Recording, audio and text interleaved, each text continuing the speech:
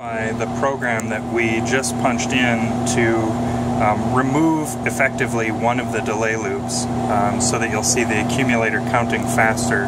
And um, a interesting feature of the PDP-12 is when the link bit, which is sort of a, a 13th bit of the accumulator. Oh, thank you. Yep.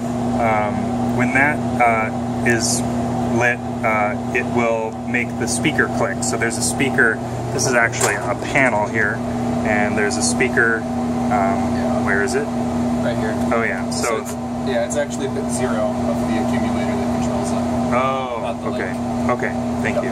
Um, so when bit zero is lit, the speaker will click, um, but we're not getting there fast enough to make the demo interesting, so we're gonna uh, remove or partly remove the delay from the code. So which instruction are we gonna change? Uh, so we'll change 5202 to 5201. So instead of jumping back to this increment, it'll actually just jump right back to the accumulator increment, um, which will speed things up now, a lot. what's interesting about this is remember that there are two delay loops here. So there's this one and this one. So if, if we jump back to 201 here, we're still going through this instruction 2207, which if you remember, um, increments address 207 and skips the next instruction when it's zero. So what that means is we're gonna loop through here for 4096 times, but once this hits zero, we're gonna skip this instruction and then we'll go through this uh, delay loop, which is another count to 4K. So in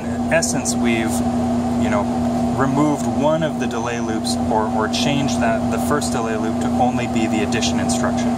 Um, so let's punch in the change and then you can see how the behavior changes.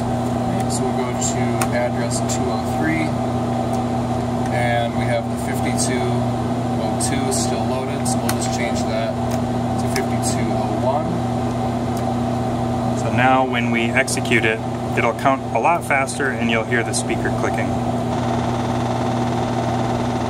So, cool.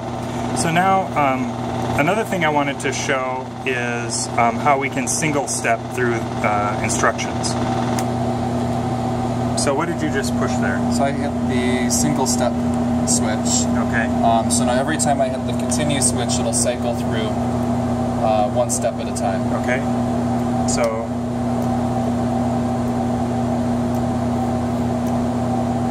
So this we're in.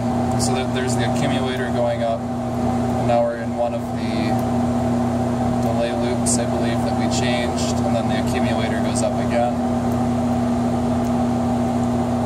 So this is showing the address of the instruction that's executing. Yep. Is that correct? Yep. And this is, uh, did I push something? Uh, Yeah. Um, and this is showing the value of the um, Yeah, memory there. So if we have, so we're back at 201, and then we go to 202, which is the increment, and then, so that increment's 207, so that's just going to show us the 207 incremented. Mhm. And then we go back to 203, which is going to have that jump back to 201, which then incremented the accumulator again. Cool.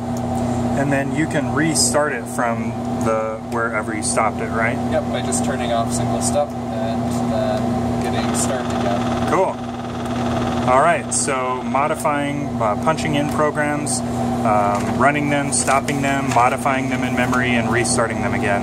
Um, all part of the fun of retro computing on this PDP-12. All right, thanks again, Dawson.